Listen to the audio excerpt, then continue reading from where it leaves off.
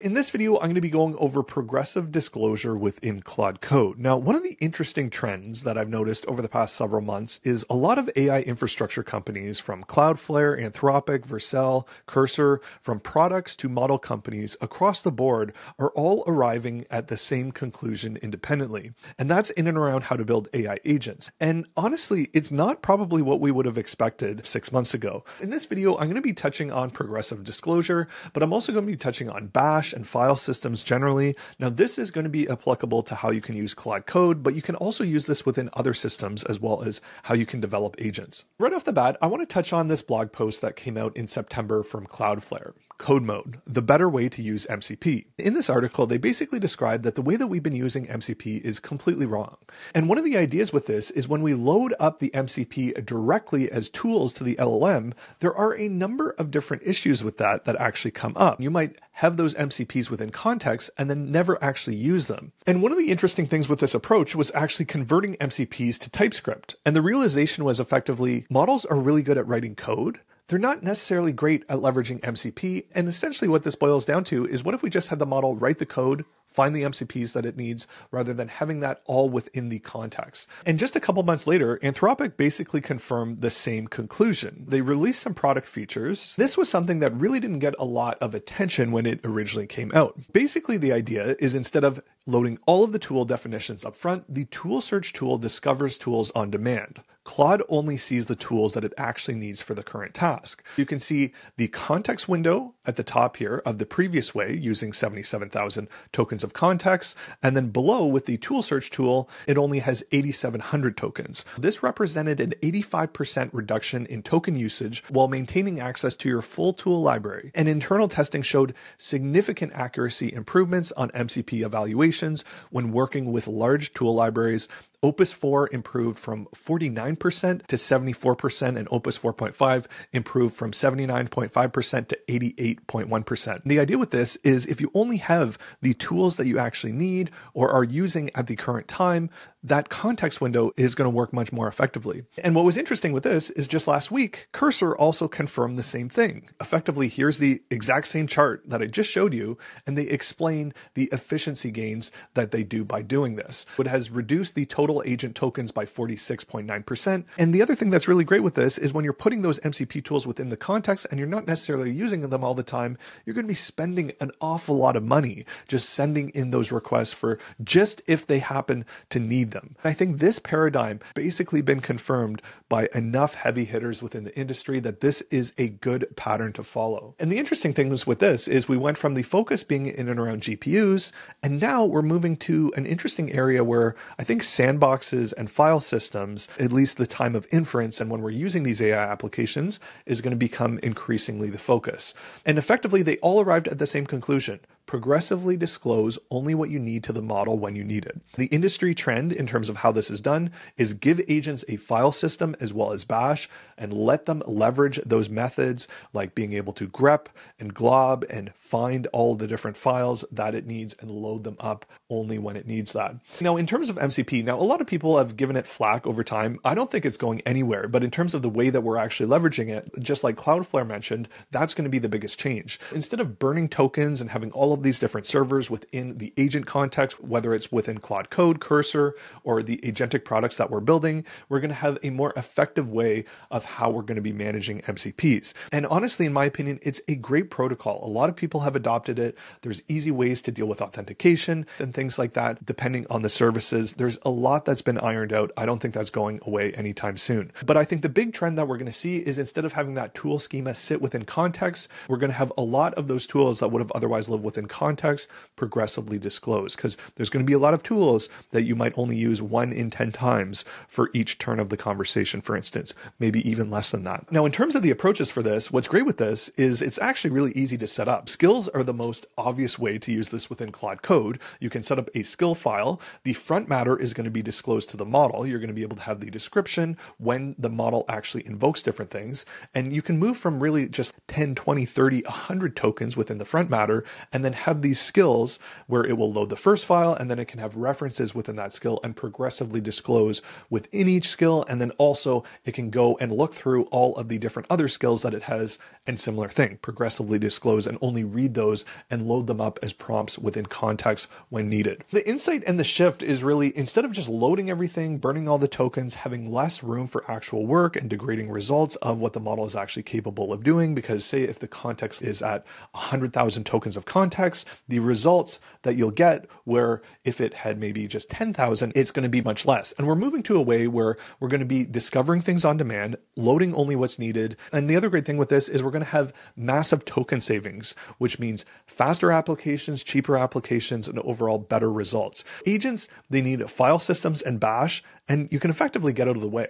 Now, the thing with this is it's really a different new architecture. I was actually uneasy with this type of idea initially, but the thing with it, I think that's really at the essence that makes this really nice is it's actually really intuitive, right? You can have these different files, they can progressively disclose, they can be within directories, they can encode this knowledge, and that's the interesting thing with this pattern is you don't need to equip an agent with the knowledge of how to use a Postgres database or how to use this or that. Every single agent out there knows how to use bash. And once you know how to use bash, you can update files, you can read files, you can use all of these different methods like skills, which is effectively progressive disclosure, which is the same type of idea with all of this. The insight that Cloudflare had was instead of generating JSON tool calls, generate TypeScript code that runs in a sandbox. The MCP server becomes a TypeScript API in isolated sandboxes. And the result that they found with this is a 98.7% reduction in token usage. Back to the blog post with Anthropic. Now, within advanced tool use, there were a few different things that they put out, and they all sort of correlate to one another. They had the tool search tool, the programmatic tool calling, as well as the memory tool. With programmatic tool calling, for instance,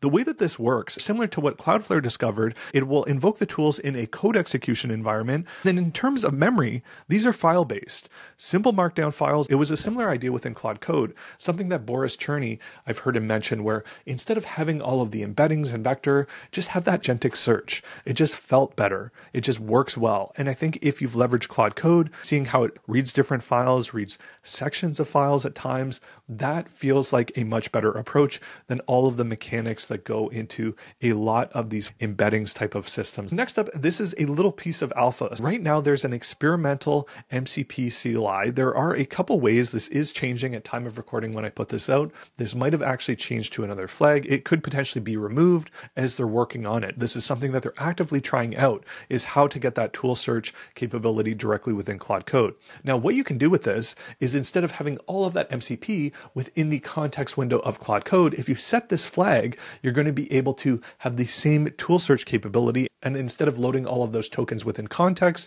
you'll be able to have that same capability. Now, is it perfect? Is it right? I found it work quite well, but does it work quite as well as having the MCPs directly within context? I'm not entirely sure. So this is still actively a work in progress. But if you want to try it out, it's a really simple flag within Claude Code that you can use if you want to try this out. And the really wild thing with this direction is if you had a number of different MCP servers, that could easily add up into tens of thousands of tokens of context that was being directly passed to the model every single time. And this effectively brings it down to almost zero. Now, there will be a little bit within the system prompt in terms of how they actually make this work and those mechanics, but it really is orders of magnitude less context that you're going to be using from something like that. And I think the big and exciting thing with this is all of a sudden we can be a lot more ambitious. We don't need to be bound by only being able to have 5, 10, 20 MCP servers, and then all of a sudden the performance degrades within our application or within Claude Code. Now we can have thousands, tens of thousands, maybe even hundreds of thousands of skills or MCPs or whatever that is within a directory or within a system that's easily able to look up and find what it needs at time of when it needs it. And additionally, we can have hierarchical structures. Similar to skills is you can have a flat directory of all of the different skills, but you can also break it up into sub skills. It can read different pieces and discover, okay, I need this reference that's within this skill file and go down the lineage and find what it needs. So there's a few different ways in terms of the architecture of this, but all in all, I think this is a paradigm shift that we're going through right now, like literally over the coming weeks and months, where all of a sudden we're going to have applications that are going to have access to a ton more capabilities and work quite effectively through some of these strategies. And I think what's interesting with this, whether it's Anthropic within their web app, they use sandboxes now. There's sandbox products from Vercel, Cloudflare, Daytona. Lovable uses a form of sandboxes all of these different sandboxes, what it allows us to do is to have these sort of ephemeral file systems where we can read and write to, spin up little applications, and then shut them down as needed. I think this is going to be much more of the paradigm in 2026 for agentic development and how you can also leverage Claude Code. If you're leveraging Claude Code within the cloud, similar idea here. They're spinning up a sandbox. But what's interesting with Anthropic is within even Claude, the consumer facing web app, you'll notice that it will also write to a file system for a lot of different operations. It will also write scripts as well for a lot of different features, like if you're working with a spreadsheet or whatever it might be. All in all, if we boil it down, MCP's file system and code execution, that might be the answer, at least as it stands right now. Just to run through the pattern quickly on how you could use this within Claude Code, you have access to the file systems. It can read, write, search files. We've all seen it leverage that within the core methods. It has bash as well, execute commands, run scripts, push things to Git whatever it might be. And then now what we can do is we can have code execution to call the MCP servers. The idea and the mindset to think about is give the agent a file system and get out of the way. Tools become files, discovery becomes search, execution becomes code, and context remains small. Next up, another interesting insight that Anthropic had was that Claude can automatically clear old tool results as you approach your limits. So this is another interesting idea that instead of having and adding those all to context is you can progressively remove those from context as they might become less and less relevant. Now, in terms of memory, I think the way to think about this is it's just files. This can be your Claude.md, this can be different MD files, this can be different scripts, this can be skills. It's nothing too complicated. There's no embeddings, there's no complex retrieval. Just keep it simple. We can read it, we can edit it, we can search it, keep it simple. If it's simple for us, it's going to be simple for agents. Now, how do we actually leverage this? So I think it's with skills and progressive disclosure. So within Claude Code, you can create a skills directory and you can put different skills that you have. It might be a web research skill, it could be a code review skill. Within that skill file, you can chain different references to different scripts, different markdown files, and that's going to be how you can have these different files where it will read and load up only at time of when it needs it. Effectively how it works, the agent will see the front matter of the skill, and that's going to be what gets loaded within the static context. Say it's a web research skill, you could say, okay, within this skill, I have Firecrawl or what have you within that skill, and then the agent will only search and read that skill folder and load up all of the context that it needs when it actually needs it. So the idea with this is you're going to be able to scale to many more skills without that additional context bloat. Okay, so all in all, I think you can now be more ambitious. Without context burn worries, agents can tackle bigger tasks. Before we had to keep tasks a little bit small, we had to minimize tool use,